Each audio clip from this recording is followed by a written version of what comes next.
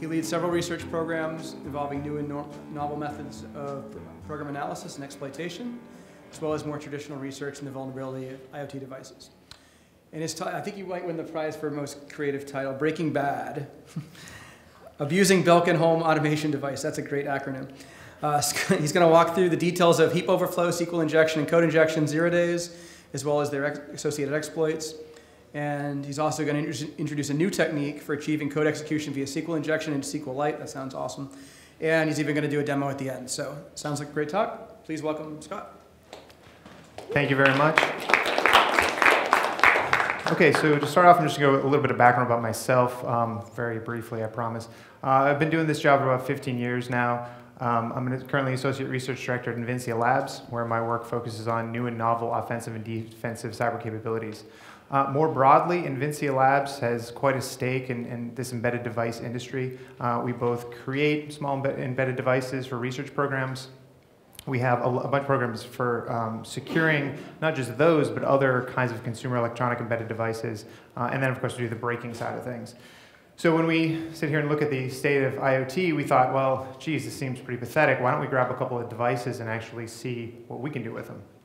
So what we're going to cover today um, is the security of the Belkin uh, Wemo platform. In particular, we're going to disclose a couple of zero-day vulnerabilities, one that'll allow us remote root access to, um, we're pretty sure most of the, the Wemo devices, we haven't actually tested them all, of course, because there's a lot of them, and you know that would cost some money to buy each individual one. Um, and then we're going to explore a cross-site scripting vulnerability that allow you to actually execute code in the Wemo Android app. And as, as said before, we're also going to introduce a new way, which I think is new. I've Googled a lot for this, haven't been able to find anybody else who did this, so I, I think you'll, you'll enjoy that as well. Okay, so to start off, what's Wemo? Wemo is Belkin's uh, brand of, of um, home automation devices, designed to be really simple and easy to use and set up.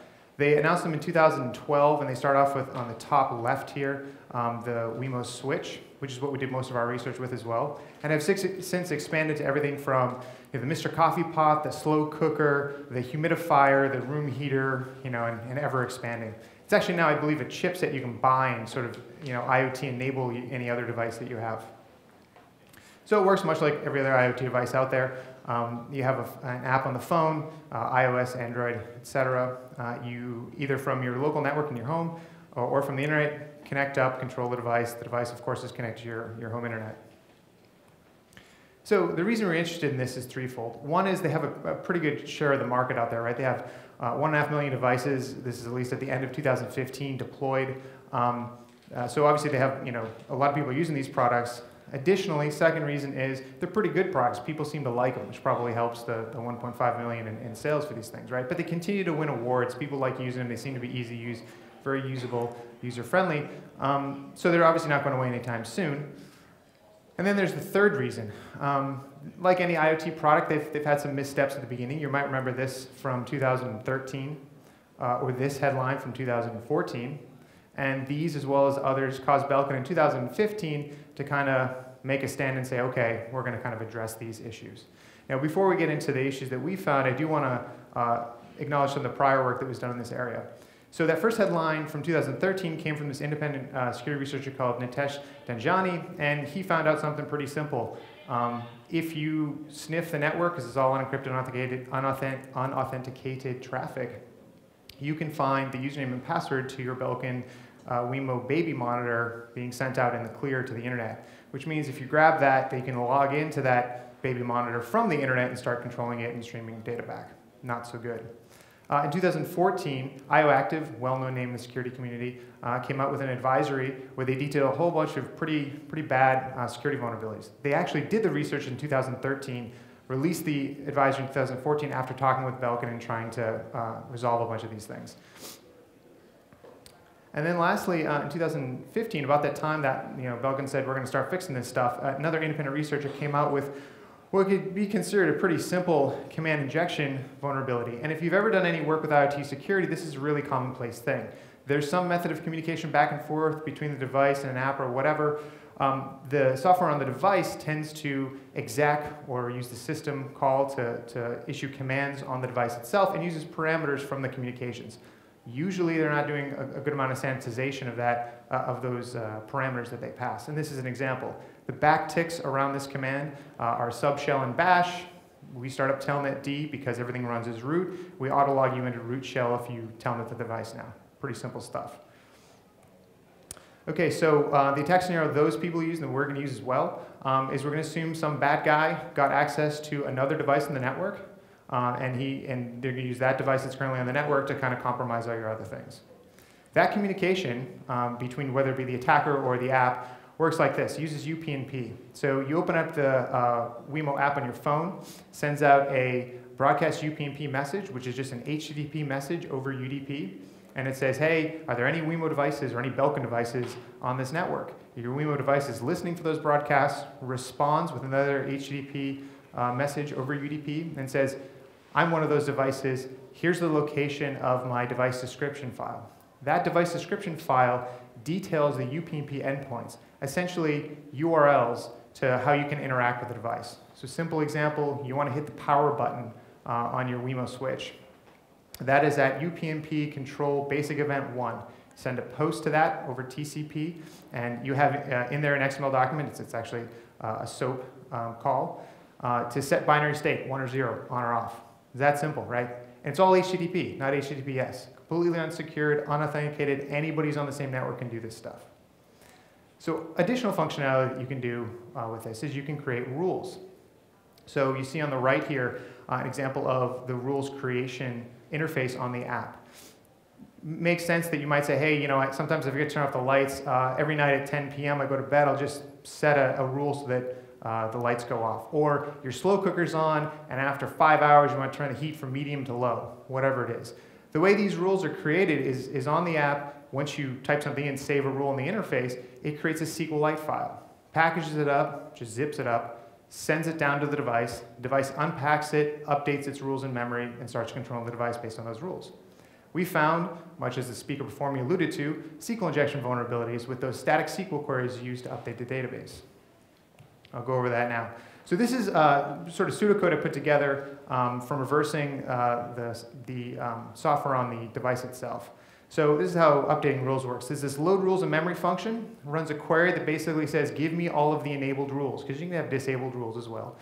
Uh, for each of those enabled rules, pass the rule ID for that rule to the fetch target device ID function. The fetch target device ID function creates a new query using that rule ID, and I've tried to put in bold here where the rule ID is. If you notice the, what it's building this query with, it's using the sprintf line of functions. Um, but don't worry, it's secure because they use snprintf, so there will be no buffer overflow of vulnerability here, right? That's not a problem. Uh, and if we look at, you know, just a, a classic benign example of this, um, if I just have one rule in the data database, my rule ID is one. Rule ID has to be a number. First, uh, the first SQL statement will select that uh, two fields from that one uh, row, pass the rule ID from that row uh, to create that next SQL statement that you see at the bottom. As you see over on the right, rule ID equals 1, no problem. However, this is SQLite. So even if you tell them that rule ID is of type int, it doesn't care. It's SQLite. It doesn't enforce type constraints. So you can actually put whatever you want in there. So say you put the string for rule ID, instead you put a string double quote semicolon dash dash. What happens then? Follow it through the bottom. What we've actually done now, because of the smprintf function that's so secure, um, we've actually made no rule ID. Rule ID equals quote quote nothing right? So this query would now return no results. Isn't a particularly bad thing. It's not going to fail because we have that dash dash on the end, which comments out the rest of the line. Classic SQL injection. I'm sorry if this is very pedantic for those of you that, that kind of know how these things work, but I figured I'd just I'd explain it. Now, we could put anything else here. After that semicolon, we could put as many other stack SQL queries as we want, right?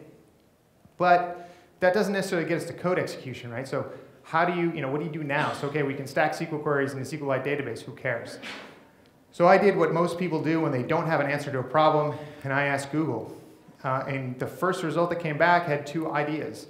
One is to use the load extension function. With this, and this is a SQLite function, it's very specific to SQLite, and it says, I want you to load a native library on the system and call this function in that native library. Great way to get code execution. All we got to do now is figure out how to get the native library we want onto a natively compiled library we want onto that system. Unfortunately, this is an obvious security vulnerability, so by default it's, it's disabled in the uh, uh, SQLite um, shared library. I actually verified this. I decompiled the whole thing, figured it out. It actually is disabled because I really wanted to use this. The next option this gives us is kind of interesting. Um, you can use this attached database syntax in SQLite. And the idea here is say you have another database on the system somewhere, another SQLite database, and you want to pull in data from that. You, you should be able to just attach to it, query it, whatever. The other use case being, if that file doesn't exist, maybe you want to create a new SQLite database in, from the current one to save data into. All right, well in that case, if the file doesn't exist, it will create it. So what this, uh, what this blog entry noted was that if the file doesn't exist, you create it in some directory like var www, the root of the web server directory, and then you put something in it that something like a PHP interpreter would be interested in, like that uh, the less than question marks sign, which is what the PHP interpreter basically scans a file and looks for. You can actually create a SQLite database that will execute commands uh, using the PHP interpreter. Great way to do a web-based command shell, right?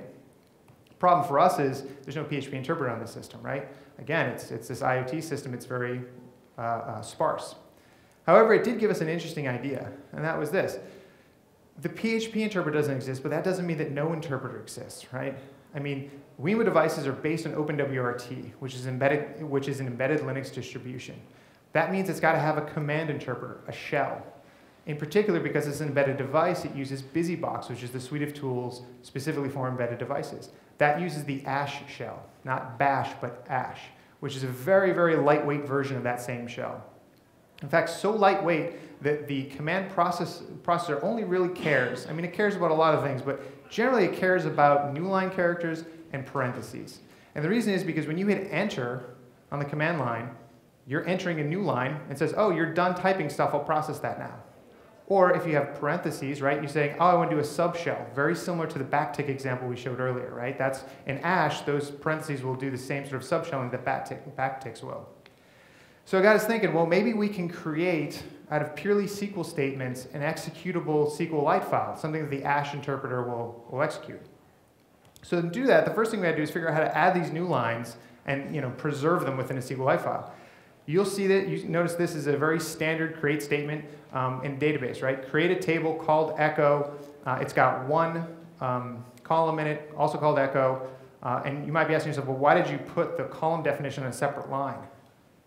Because when I do that, that new line character, when I hit enter, actually gets preserved. SQLite takes exactly what you typed in and puts it in the file. It doesn't say, oh, these are on two lines, but I can compress them to one line. Keeps that stuff there. That means when I try and run this, and in this case I was using on a Linux system, not the actual device, so I typed busybox ash instead of just ash. Um, it says, hey, SQLite not found. First error comes back, and then there's the second one, which we'll talk about in a minute. Uh, but what the first error is indicating is that the first thing in that file, in a SQLite file, is the word SQLite. So it says, oh, this must be a command. Took everything from that to that new line, which is this whole chunk of uh, bytes in the file, and said, this is one command. All right, that's pretty good. But now how do we get rid of that unterminated uh, quote string? Well, we add another new line, basically. So in this case, what I did was add the, the text without row ID on another new line. Now, what does without row ID do? I have no idea. I just know it's something I can put at the end of a create statement that, will, that I can put a new line between the column statement and that. So now when I run it, what we see is SQLite not found. Okay, I knew that one. But aha, my echo command, my, sorry, my echo column now executes as the echo command via the interpreter. That's pretty cool. And note the rest of the file doesn't die out. It just tells me it can't find these other commands that I've specified in this file. All right, so I have command execution one command, right? And the parameters here, because it's a, a, column create statement, I can't, I can't really modify those parameters very much. So to get arbitrary command execution, we do very much what, the, eh, what we did in the PHP case, which is just insert some values into that table that we just created. The values just have to start with a new line and end with a new line so that the interpreter says whatever was before it is a separate statement than whatever's after it, and this is your command.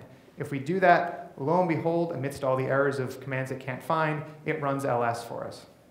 Kind of cool. Now here's the file that's going to do something really interesting. This is the actual exploit database uh, that we created in the WeMo, uh, for the WeMo uh, devices. So this is the, the actual rules file I showed you earlier. Uh, sorry, the rules table I showed you earlier. But notice the row ID um, is obviously something very verbose. So the first row here is doing the same attached database thing we saw in the PHP example. The reason the location is blacked out uh, is because this is not yet fixed in the firmware. So Belkin asked us not to give too many details that actually allow you to recreate this um, exploit from the presentation. So the first one creates a file in a particular location. The second one actually inserts the command we want to execute. Note both of them are taking advantage of that SQL injection vulnerability. They both start with quote semicolon, and we're just running stacked queries after that. The command we're going to execute, same as in that backtick case we saw at the beginning, just give me a, a telnet service that drops me into a root shell when I, when I hit enter. All right, so the anatomy of this thing overall looks like this. Uh, first thing malicious attacker does after creating that database file is sends to the UPnP endpoint rules one, uh, sends thing says update the database or store the rules, sends it the SQLite file, gets unpacked in memory, uh, files get created in the file system, everything's good. The next thing we have to do is actually trigger that, because all that did was create the shell script in a particular location. Now we have to trigger it. I'm not going to tell you the endpoint we use for that one either, again, via agreement with Belkin, because we're trying to be nice here. Um, don't want all these devices, those 1.5 million devices, to be rooted tomorrow by some DDoS guy, right? Uh, so anyway, we have to trigger that. And we found a, a, um, a command that will do that as well. Then we just telnet to it. I was going to do a demo in real time here, um, but this actually takes like three or four minutes to run, and I knew we were kind of constrained on time, so I'm going to give you this version of it instead. Is that running? All right. So funny story about building this demo, I was really concerned about, uh, about typos, so I type really slowly, right? I don't, I, I don't know why. Anyway, so the first thing you saw that was me ping the device to show it's up and running. Now we're going to telnet to it so you can see that telnet is not currently running. Those things that you have to do in a demo. Okay, and now what we're going to do is we're going to run the exploit. The first, this is when it's pushing the rules over, waits a few seconds, then it's going to send something that says, okay, you know, finish updating the rules, actually kind of triggers the rules to actually be loaded into memory. And now we're going to send the trigger, the thing I can't tell you about. So now we're going to fast forward because what we're going to do is ping the device. What the trigger does is it kind of, it, it causes all the networking to reboot, so the device actually goes offline for a minute, though it's still functional. So if you have the switch plugged into it, uh, sorry, if you have a device plugged into that switch, right, the power outlet, that still gets power. You just can't communicate with the device for, for maybe a minute or two. We're actually going to fast forward here to, there we go. Okay. So the device came back online, and now we say, let's see if we can telnet to it again. Bingo, it worked. Uh, we're just going to call ID here to show we're running as root, and then I'm going to print out a couple of particulars just to prove to you I'm on a, a Wemo device. Again, I'm trying not to typo, so I'm doing it very slowly. So we can see here the architecture of the system. We can see the SOC chip, a raw-link SOC that's in this thing. Um, and then, then the last thing we'll do is show you the, the firmware uh, version that we're using. There we go. So that is, and this, as far as I can tell, in all the firmwares that I've downloaded, this actually will uh, work on any of the Wemo, so most of the Wemo devices, uh, firmwares that I've downloaded, so pretty much all the Wemo devices this will work on. Um, of course, you could have done something else, or you could have wgetted your malware down and turned this into part of your botnet if you wanted to. We just chose to get root access to the device just to prove now we can do anything. Okay, but you know these devices, or, or any IoT device is more than just the device itself. There's plenty of blog articles that'll show you how they rooted some device in maybe some different way than I just did. Uh, so we need to talk about more than that. Wemo is composed of, the Wemo platform is composed of the device, which we've just showed you how we owned, um, the cloud service, which is actually off limits to us. Another reason we did everything locally is on this website it explicitly states don't attack our cloud, which I can understand, so we didn't. Uh, but then there's also the smartphone app, right? We thought this would be interesting. What can we do with the smartphone app? So looking into it, the smartphone app is actually created with this cross-platform uh, development framework called Cordova from the Apache Foundation. The idea is that you, could, you should be able to make a, a graphical user interface for your, for your um, mobile app and not have to change that piece of it. So if, they, if you make it with HTML5 and CSS and everything else, you don't have to change the front end stuff. You can just kind of change the back end stuff for the different, you know, iOS or, or uh, maybe Windows Mobile or whatever what connects that code, like the Java code in the, in the Android case, with the front end stuff is JavaScript. So there's this JavaScript bridge they made, and there's a set of Java classes you can call from your Java classes that'll, that'll send JavaScript code to the interface and execute it. And also what's interesting, and I put the picture up on the slide, is there's a lot of permissions this app has, right? It can get to your storage, it can get to your camera, and get your contacts, and get your location. Um, every, you know, on Android, most apps have access to the phone. That's actually because that's how they test for the internet, right? Location, maybe, okay, maybe we can do some sort of geo-fencing to figure out when you're in or out of the house or something, maybe. Um, camera, you want why you have access to the camera is so that you can update the picture of your device that shows up in the app. That's why you have access to the camera. I think storage is for the same reason. Okay, so another thing you can do with this is you can change the friendly name. The friendly name is the name that shows up in the app, right? Every Wemo Switch, for example, comes with, you know, it's named Wemo Switch. It's not terribly helpful if you buy five of them and one is in the kitchen, one is in the bedroom, one is in the living room, so you obviously want to change the name, right? It's very simple. You send to the endpoint basic event one, right? You send this HTTP post request, say I just want my friendly name to be my switch now, and then when you pull that device description file back, it says, great, we've changed that. Under the hood, here's what's actually happening. This is a slice of the Java code. The Java code is saying, give me the device information. I'm going to use that device information to build a JavaScript string to update that in the interface, okay? This is, actual, this is Belkin's actual code. Now, you can see that this JavaScript is, is, composed, is composed of both a static string and a string that's being generated by the device information object. That device information object does nothing but just concatenate a whole bunch of data together. What that ends up being is, is just this very long string that has the friendly name somewhere in it. Um, I've bolded it here so you can see it. And then they send that to the interface as a JSON file, as, excuse me, as a JSON message right? So you see on the left, there's a whole bunch of information gets sent to the interface. It displays Wemo switch, uh, excuse me, my switch. Everything's good. The question is, what if that name wasn't so friendly?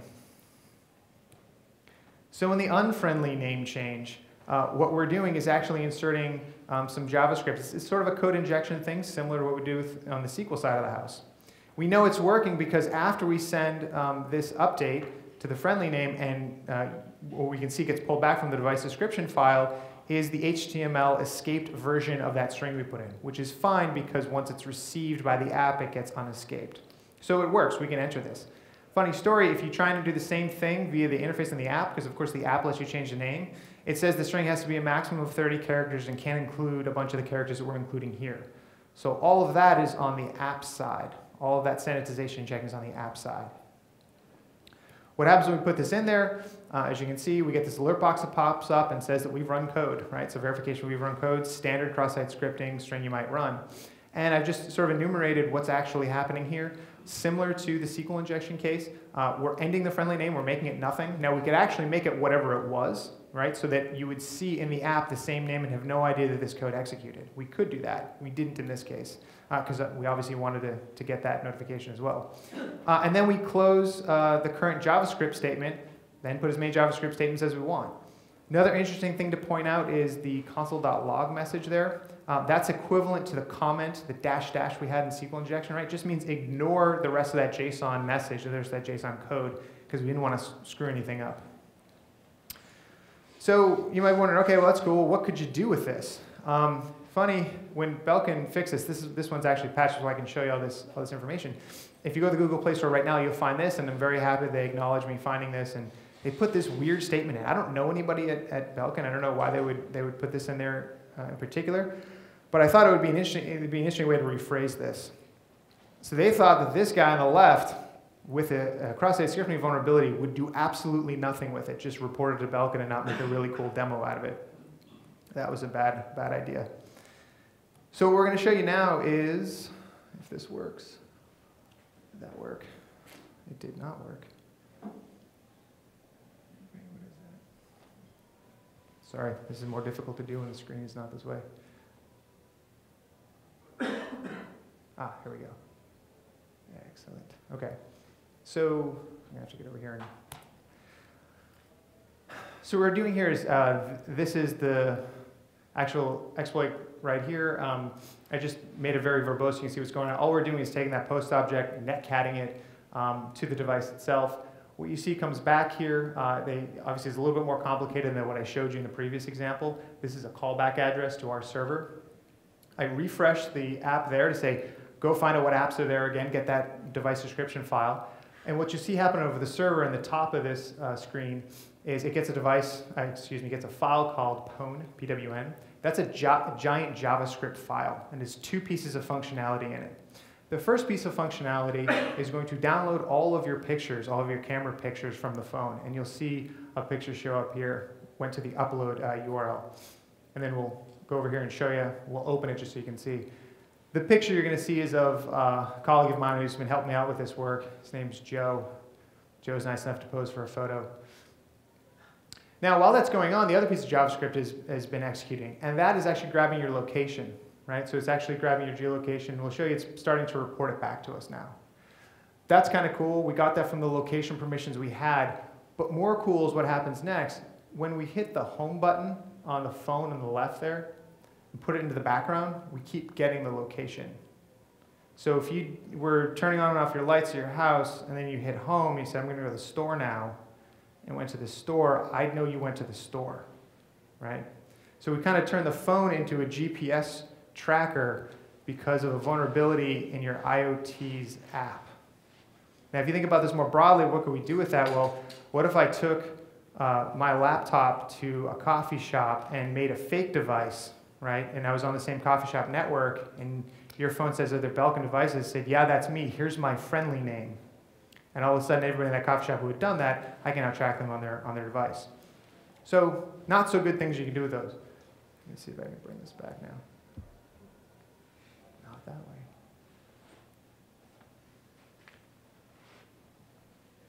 All right, that come back? Yes.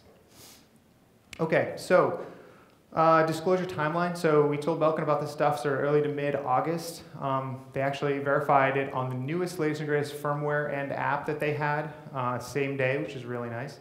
Uh, they were very responsive with this stuff. Actually, we really appreciated the back and forth with them. They fixed it and updated the app in the Google Play Store uh, on September 1st. Um, they said that they still, uh, they, have identified, as of last week, they've identified what they're going to do about the SQL injection vulnerability, but they're not going to have the fix out until um, next month, which is again why we're not disclosing that stuff here.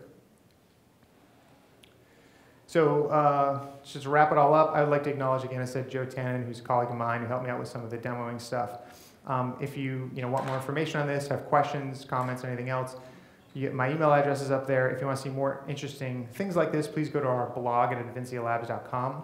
If you are someone who's interested in this space, uh, you know, hacker, research scientist, whatever, we're hiring. I'm sorry, the company made me put that in there. um, and lastly, uh, if you have or are thinking about having some sort of IoT device, but you haven't thought about having people like us look at it first, um, you know, please let's have a chat about that or talk to somebody about that. Um, it'd be really good because I'm sure you don't want your company or your stuff showing up on slides like this. That being said, uh, was actually very good about responding to this and, and remediating this stuff. We had a very good back and forth, and we continue to we hope that's actually going to uh, continue, that kind of relationship will continue into the future. So with that, is, are there any questions? So if I hypothetically have, you know, 12 pieces of this Weebo kit at home, Yeah. they, they address these vulnerabilities, what's that experience going to be? Is this is a call home type of software update thing, or I've got to go to each device and?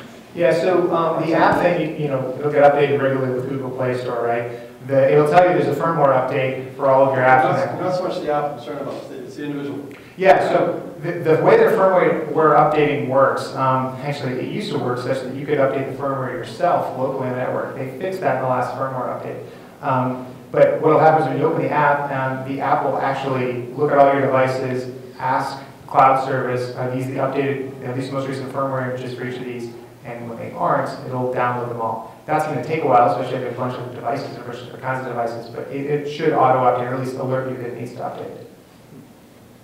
You said all that traffic, communication between the app and the devices, that's, that's clear text HTTP? Clear text, and that's actually, I believe, um, IO Active in their advisory reported that that was kind of an issue, and that's one of the things that they chose not to fix. But yeah, that's all clear text. So I could do a man in the middle there report for incorrect software Uh, yeah, I mean, if you were in control of the router, right, you could do, you'd have to be in control of the home router in order to do that man middling, unless you want to do a beat the packet kind of thing to the, to the Wi-Fi access point. But yeah, theoretically, uh, you could do that. Uh, of course, if you take over the device, or root the device, you can prevent it from updating. I guess I should mention that as well. Um, mitigation of this, people may think, oh, well, if I just unplug the device and plug it back in, everything will be fine. That's actually not true. Um, they, the uh, overlay storage that they use um, on the firmware actually will preserve that obviously across plugging and unplugging. Also, uh, the files get preserved across restore, so if you grab the device and hold down the button that says restore and plug it in for five seconds, and it says it wipes everything and resets it up, I still can tell that in your device. That doesn't fix it. The only thing we found that will actually erase the stuff we did to the device is a firmware update. So if I rooted the most recent version of the firmware update, you'd have to wait for another firmware update in order to remove whatever is on that, right? I think that kind of enumerates another big problem we have with this kind of gear is that um, I now have root access to your device, but you don't. So there's absolutely nothing you can do other than unplug your device, right?